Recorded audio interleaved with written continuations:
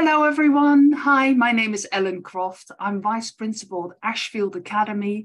Uh, this is an academy in Leicester City. I'm also the Director of the Inclusion and SEND Hub, supporting schools in our localities with their SEND provision.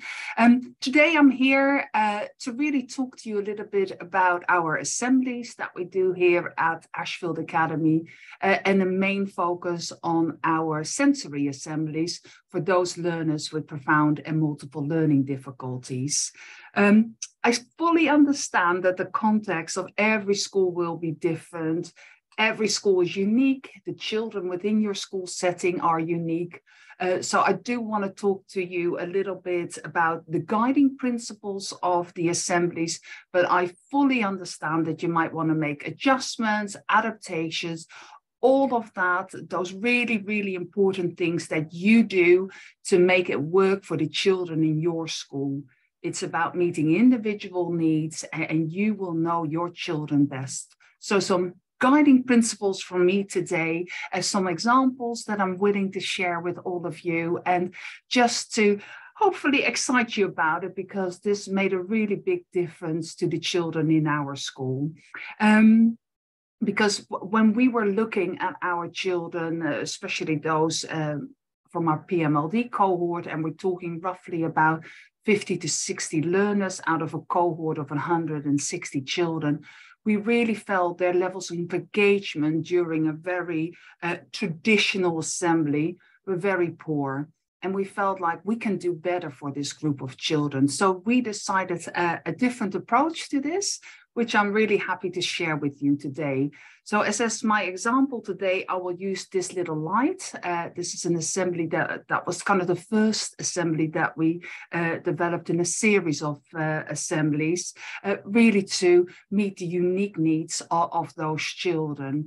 Um, it was really important to us not just to launch this and here we go let, us do this it, a part of this was very much about uh, the getting the buy-in from our entire staff team around this because to be honest uh, a sensory assembly what does it look like? What are the expectations uh, from our staff team? What do we want the children to learn from it? It was really important that we made that really explicit to our staff uh, because we wanted to get this uh, right for everyone involved because kind of letting go and uh, entering into this kind of non-verbal uh, assembly, very much, very child-led.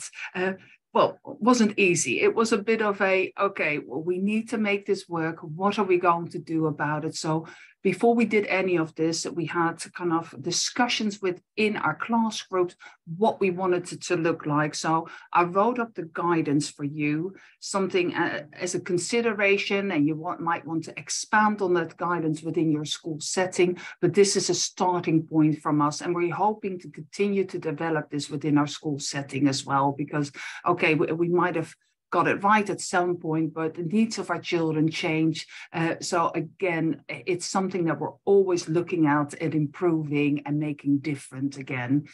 Um, so here we go then. What I'll do is I'll take you through the slides. Uh, add commentary to the slides, maybe some helpful tips, best practice, um, so that you can either start writing your own assembly, start off with using ours. That's all fine. Um, in the comment sections on your slides, I will have provided links to the music that we provide within this assembly. Again, something to listen to. Is this right for your school? Use it. If it isn't, again, please feel free to then look at other kind of uh, platforms to find the most appropriate uh, music for uh, the children in your setting. Again, we were able to hold these assemblies in our main school hall. Um, you might only be able to do this in a classroom. So again, um, yeah, adjust and adapt. But just to set the scene, we delivered these um, assemblies in our school hall with roughly 50 to 60 children. 40, 50 members of staff. So again, quite a big operation, but uh, it does work for us. So it, it's really uh, something that, yeah, you have to figure out yourself how it will uh, work best in your school. So let's take a look then. So what we did is, first of all, um, and, and, part of the um, kind of the instruction and the training that we provided for staff, um, we gave them some training first. This was a slide, however, that we did always have up in the um, at the start of assembly because we felt it was important and we went through it every time because sometimes new staff joined us or there were supply staff uh, there uh, and sometimes just the busyness of every day uh, it was just a really good opportunity to again remind everyone in that kind of special place that we were got a space that we were trying to create for our children just to adhere to uh, some of the following.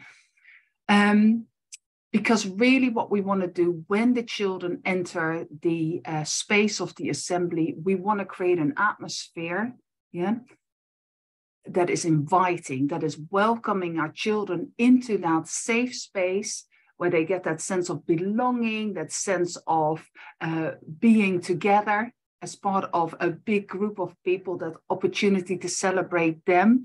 So we really wanted to steer away from making it a very uh, I'm coming into the space and now I can hear staff around me still uh, trying to set things up, lots of operational talk. We really wanted to be ready, the space to be ready for people to come in, sit down, and instantly feel immersed in the environment and the specialness of that. Yeah, so our instructions to staff really was this is a pupil led assembly. Yeah and we're going to adjust our communication to the needs of the children. Yeah. It is not about what we're saying. Yeah. It's about the feeling that we're providing for our children as part of this assembly. So we use, and a lot of our staff will have had the intensive interaction training. So we use a lot of the intensive interaction strategies during uh, this assembly. Yeah, because really we try to keep our uh, communication to a minimum. Yeah, so again, we did have a few keywords that we might repeat, but again, we try to limit it to make sure that our, the environment is very well understood for our children.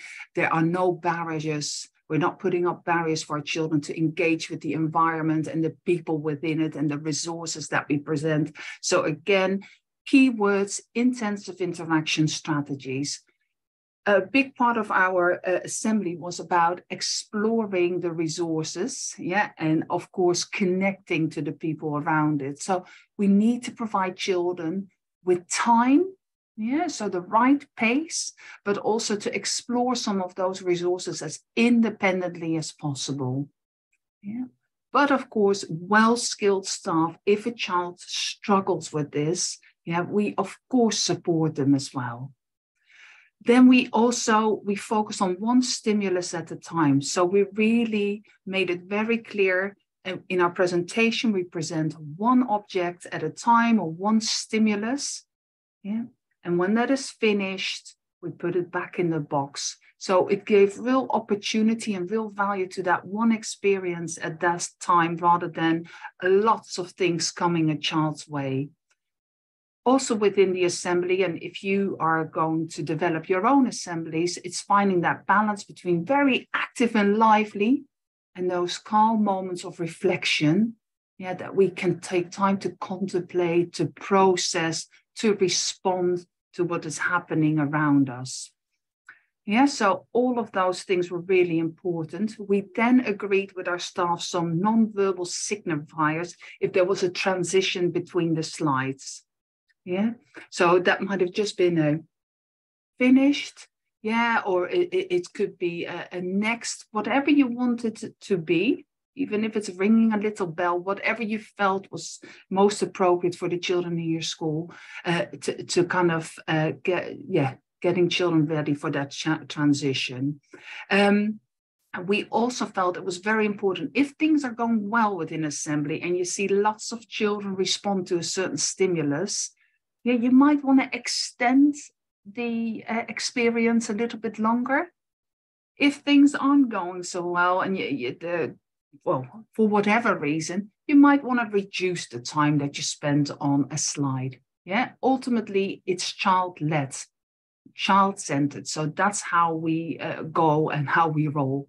Yeah, so uh, again, I might put in the slides two or three minutes. Well, you might want to spend four or five. Again, child-led.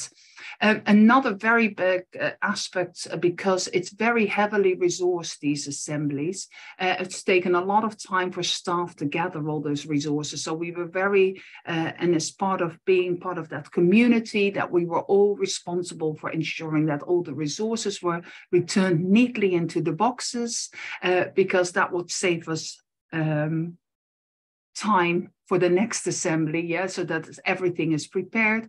It also allowed us that uh, to um, reuse some of the resources.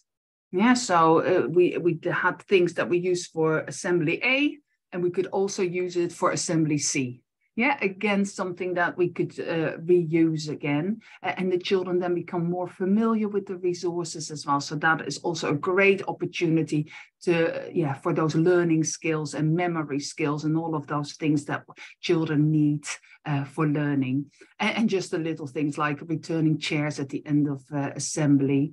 Yeah again without big fuss just calmly returning it. It might meant taking the children first out of that kind of special space that we're trying to create an environment and then a few a couple of member staff coming back to return and, and tidy up the chairs.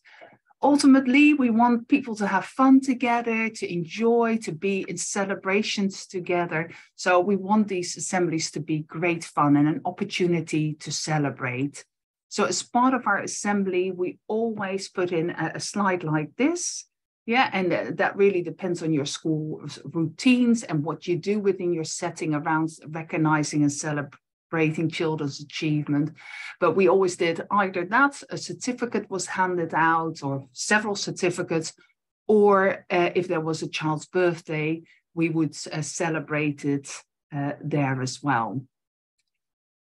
So this is then um, part of that. So we start with this slide. This was the slide we would have up at the start of um, the assembly. Yeah, and, and, there was lots of nice, uh, relaxing music playing to create really that ambience. Yeah, then we would very quickly go through the uh, slides just as gentle reminders. I would just put it up there as a visual and ask staff to take a look. Yeah, again, you don't need to speak, you don't need to say the wording. Yeah. Then we would do that celebration slide with the um, a picture of a child, if it was their birthday or just the names of the child, and we would sing happy birthday to children or a big clap if we handed out certificates. And then we would go back to this slide, this little light of mine. Um, and what we would do is we would really have that relaxing music on and just as a moment to regulate or co-regulate with the children really take some time to relax enjoy the music take notice of the children around us our environment and sometimes this was two three minutes just to create that calmness. Yeah.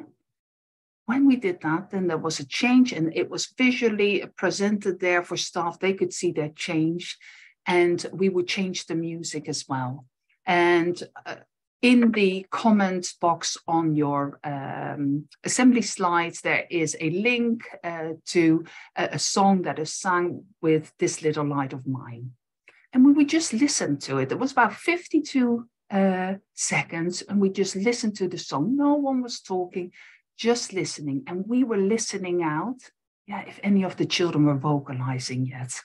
Yeah, can we hear them sing along to the music, vocalize along? Yeah. And we would pause the music and give time, yeah, in quiet for children to start responding, vocalizing. We would give time, maybe another minute, two minutes, just sitting there in quietness. Acknowledge if a child started vocalizing, turn the person who was sitting in the circle with the, those children, turn to them using intensive interaction, acknowledgement. I can hear you.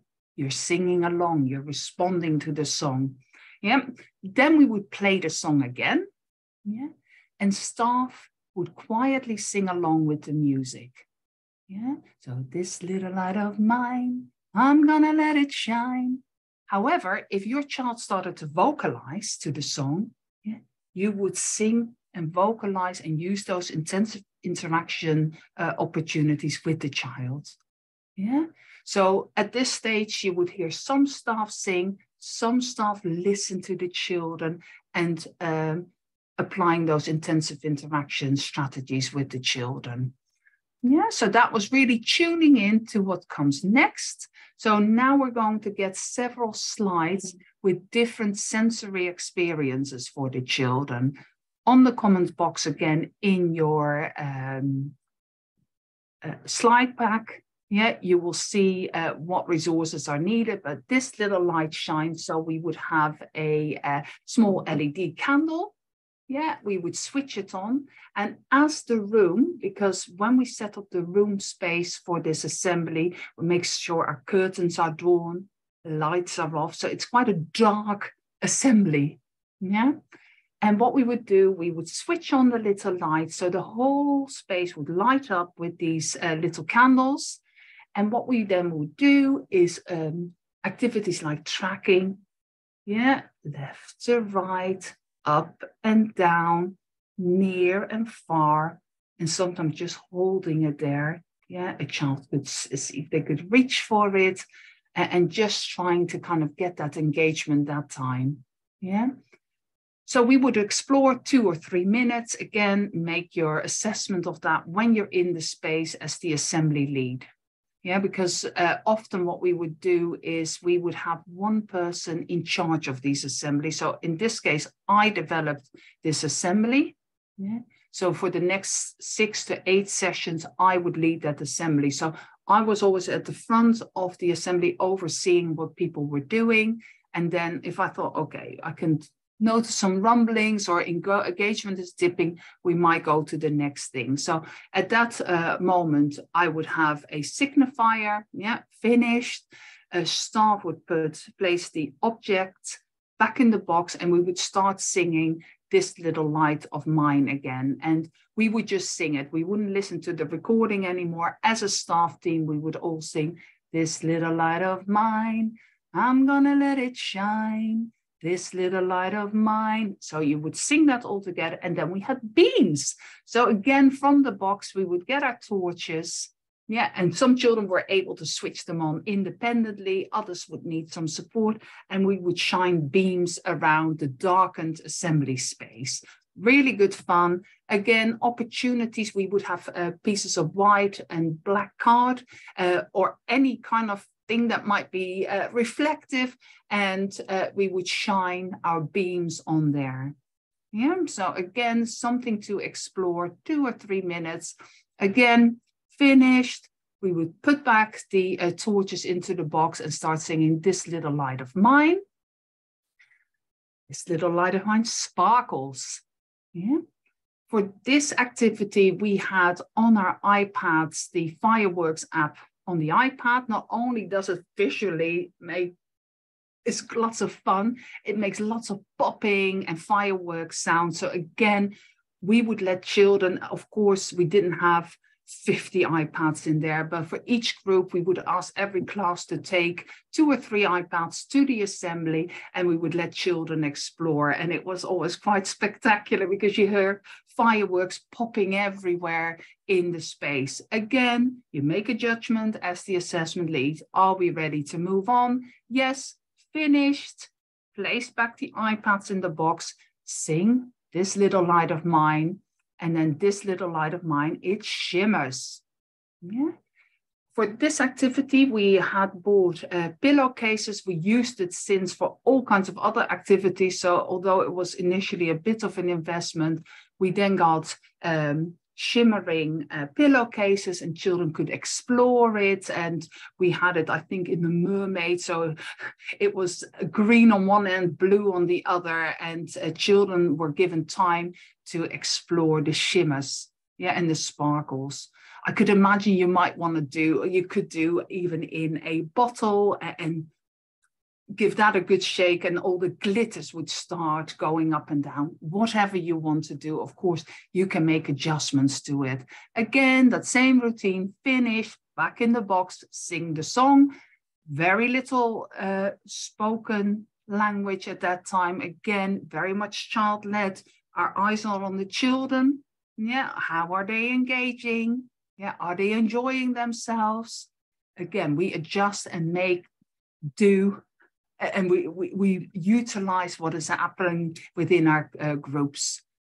Then again, you would do the uh, finish, putting it back in the box, and then um, this little light of mine, and then uh, glows. Well, this is quite of a, uh, and you might want to do something different, but for us, we bought lots of glow sticks, and environmentally, you have to question that, of course. So you might want to look at alternatives, but we would break uh, glow sticks, yeah, and we would place them as little bracelets around a child's hand.